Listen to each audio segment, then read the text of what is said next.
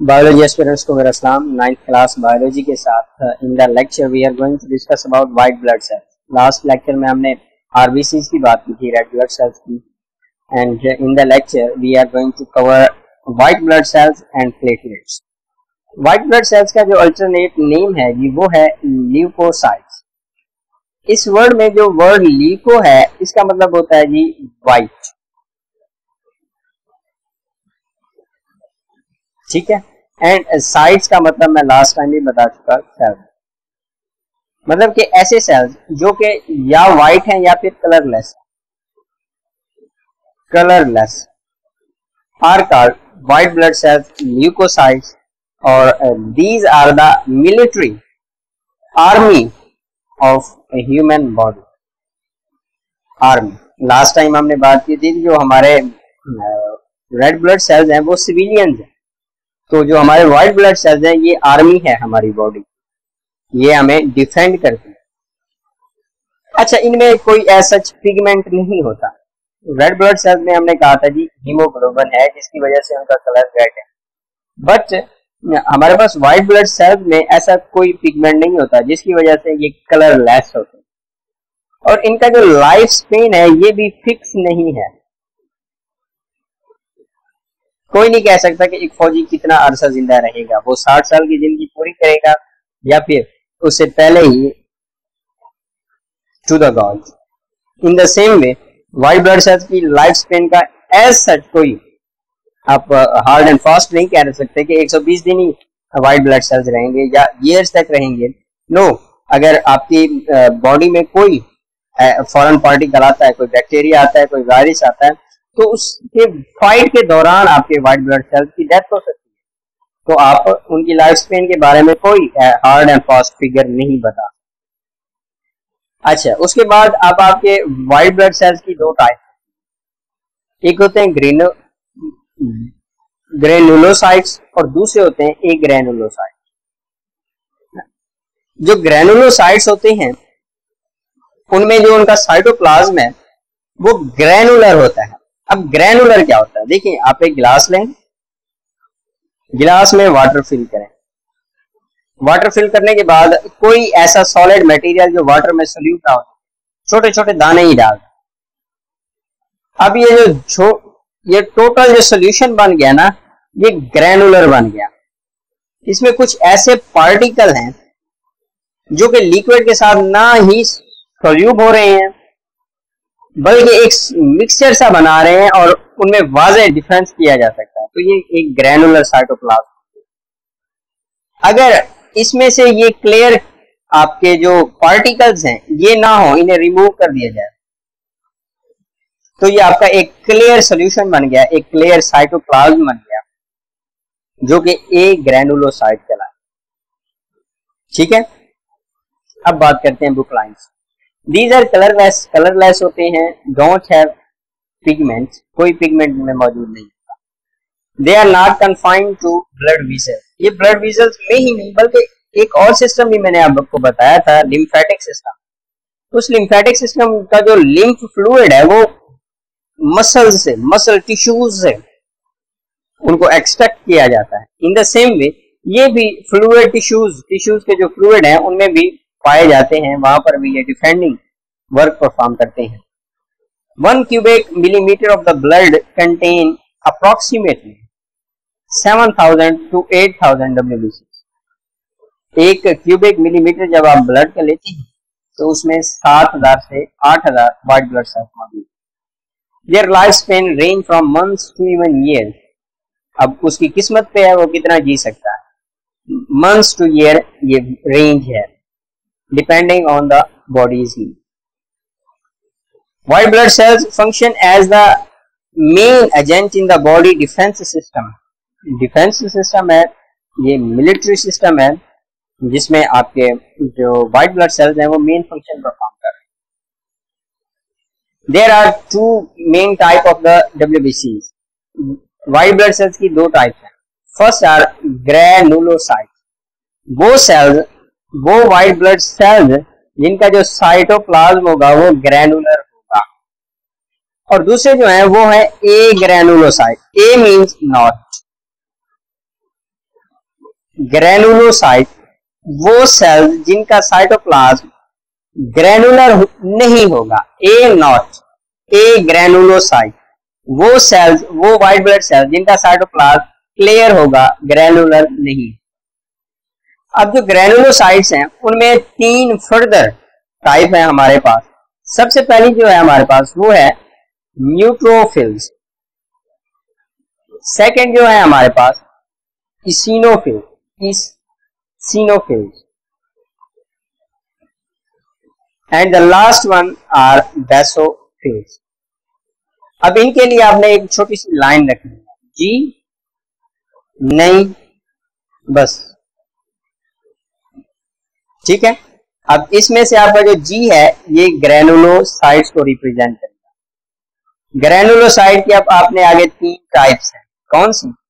Neutrophils eosinophils ई से, और basophils बस एक छोटी सी लाइन ये आपने बुक पे नोट कर लेनी है। जब भी आप ग्रेनुलोसाइड को तो आपके माइंड में ये लाइन आएगी जी नहीं बस। तो G for granulocyte N for neutrophils E for eosinophils और बस बेसोफिल्स अब जो न्यूट्रोफिल्स होते हैं न्यूट्रोफिल्स ये destroy small particles by the phagocytosis phagocytosis last lecture में मैं बता चुका हूँ, ये सेल्फ हीटिंग प्रोसेस होता है। जो फॉरन पार्टिकल आपके ब्लड स्ट्रीम में एंटर होगा, इसको ये सेल्स अपने अंदर इनगल्फ करके उसको डिस्ट्रॉय कर दें डिस्ट्रॉय कर दें। ठीक है? इसीनो फिल्स जो है हमारे पास इसीनो इन्फ्लेमेशन और पार्टिकल्स को जो पैरासाइट्स आएँगे उन्हें किल करें। इन्फ्लेमेशन और किल बेसोफिल जो है, ये ब्लड क्लॉटिंग बेस बी से ब्लड क्लॉटिंग बी से। ये ब्लड क्लॉटिंग करेंगे जहाँ से वेन रप्चर हो रही है और ब्लीडिंग हो रही है, वहाँ पर ये ब्लड क्लॉटिंग में हेल्पफुल साबित अब हमारे पास जो है ए ग्रेनुलोसाइट ए ग्रेनुलोसाइट्स के लिए एक और लाइन है, वो आपने याद अगर तुम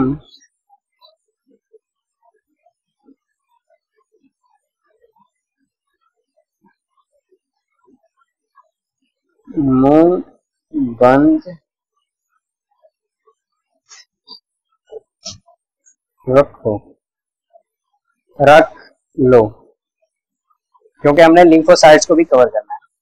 तो ये अगर जो होगा, ये आपके ए ग्रेनुलोसाइट को रिप्रेजेंट करेगा। तुम टी टाइप सेल्स मुँह मोनोसाइट्स एंड बन इससे जो बी वर्ड है, आप बी टाइप सेल्स कर सकते हैं। और जो ये लास्ट का है आपका, ये लिम्फोसाइट को रिप्रेजेंट करेगा। बी लिम्फोसाइट्स टी लिम्फोसाइट्स और मोनोसाइट्स जो होंगे आपके, ये आपके पास एक लाइन होगी। जब भी आप एक ग्रेनुलोसाइट्स को माइंड में लाएँगे तो आपके पास ये लाइन आ जाएगी। अगर तुम मुँह बंद रख, मुँह बंद रख लो मींस ए ग्रेनुलोसाइट्स में कौन कौन से सेल्स हैं? टी टाइप सेल्स हैं बी टाइप सेल्स हैं और आपके मोनोसाइट्स ठीक है? इनका जो साइटोप्लाज्म है, वो क्लियर होगा। इंक्लूड द मोनोसाइट्स मोनोसाइट्स क्या करेंगे? Macrophages which engulf the germ macrophages होते हैं मैक्रोमीन होता है लार्ज और फेजेस होता है ईटर ईटर मतलब कि ये आपके जो जर्म्स आएँगे उनमें किल करने के लिए लार्ज ईटर्स प्रोड्यूस करते हैं। ये लार्ज ईटर का वर्क परफॉर्म करते हैं, उन्हें जल्दी से इनगल्फ कर बी और टी लिम्फोसाइट्स प्रोड्यूस एंटीबॉडीज पैदा करते हैं और kill germs anti against bodies foreign particles foreign particle जो आपका, वो कोई भी हो सकता है वायरस हो सकता है, वो बैक्टीरिया हो सकता है, वो कुछ भी हो सकता है। उसके खिलाफ जो आपके पार्टिकल्स प्रोड्यूस होंगे, जो उन्हें किल करेंगे, वो आपके एंटीबॉडीज होंगे और ये आपके जर्म्स को किल करेंगे। And these are the types of white blood cells WBC granulocytes and agranulocyte next हमारे पास एक छोटा सा टॉपिक है, वो है हमारा प्लेटलेट्स वो देखते हैं कि प्लेटलेट्स क्या बला होती है। प्लेटलेट्स को भी एक नाम दिया गया। प्लेटलेट्स को नाम दिया गया जी थ्रोम्बोसाइट्स अब पता नहीं क्या गलती हो गई, बेचारे से इतना, वो स्ट्रॉन्ग उसको नेम दे दिया thrombocyte the word thrombo is derive derived from thrombus कहाँ से? थ्रम्बस और थ्रम्बस कहते हैं क्लॉथ को। साइड्स में बता चुका कहते हैं सेल्स को। वो सेल्स जो क्लॉथ बनाने में हेल्पफुल साबित हो। क्या कहलाएँगे? Platelets they are not cells ये सेल्स नहीं है, बल्कि एक फ्रेगमेंट्स हैं। कुछ मतलब कि आपके पास एक पार्टिकल्स है उन्हें आप धागे नुमा कह लें या किसी और शेप में कंसीडर कर रहे ये आपकी क्या है? पार्टिकल हैं। अब ये बनते कहाँ हैं? बोन मैरो में सेल्स होते हैं megakaryocytes mega large karyo कहते हैं न्यूक्लियस और साइज़ का तो आपको पता ही होगा सेल्स बोन मैरो में मेगा कैरियोसाइट्स नामी सेल्स होते हैं, वो सेल्स जिनका जो न्यूक्लियस है वो थोड़ा साइज़ में बड़ा उन सेल्स में ये पार्टिकल्स बनते हैं। ठीक है?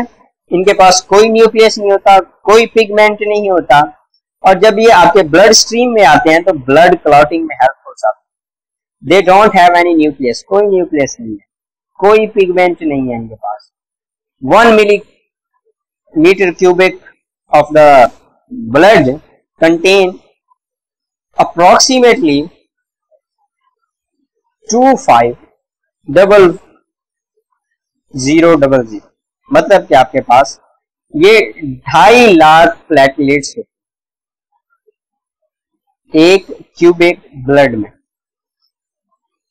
The average life span of the blood platelets is approximately from seven to eight days platelet help in the blood clotting function क्या जी? ब्लड क्लॉट करते हैं। The clot serve as a temporary seal at the damage area आपका एक muscle पे damage आया, वहाँ से ब्लड क्लॉटिंग हो रही थी या वेन से आया तो ये प्लेटलेट्स वहाँ पर कलेक्ट होना स्टार्ट हो जाएँगे। और उस होल को, उस इंफेक्शन को क्या कर देंगे? तो बंद कर देंगे बाय क्लॉथ ब्लड को भी क्लॉट करवाएँगे और ये ऐसे ही वर्क परफॉर्म करते हैं जैसे अगर आपको लोग वाकिफ हो खाला सुना हो अगर आप तो अगर कोई सराय किया तो उसे पता होगा। मैनर जिसे कहते हैं। तो या फिर ये कर लें कि एक आपके पास नदी है और उसकी जो एक बैंक है, एक उसका किनारा है वो टूट गया। तो यहाँ से पानी क्या हो रहा है, निकल रहा है। तो आपको लाजमी सी बात है, यहाँ पर कोई ऐसे सॉलिड मटेरियल रखना पड़ेगा, पत्थर रखने पड़ेंगे, या फिर आपको बोरियों में मट्टी या रेत बंद करके रखनी पड़ेगी, जो कि इसको रोकने के लिए हेल्पफुल साबित तो आपके प्लेटलेट्स भी वही पत्थर हैं, जो कि वहाँ पर जाकर ठहरते हैं और ब्लड को क्लॉट करने के लिए हेल्पफुल साबित उस पैसेज को बंद करने के लिए आपके पास ये फ्रेगमेंट्स ये पार्टिकल हेल्पफुल साबित ये थे हमारे पास प्लेटलेट्स और white blood cells next lecture में हम बात करेंगे जी डिसऑर्डर्स के ब्लड से रिलेटेड कुछ डिसऑर्डर हैं। लाइक थैलेसीमिया हो गया ल्यूकीमिया हो गया। हम उस पर बात करेंगे। तब तक रखिएगा अपना ख्याल। स्टे ब्लेस्ड अल्लाह हाफ़िज़।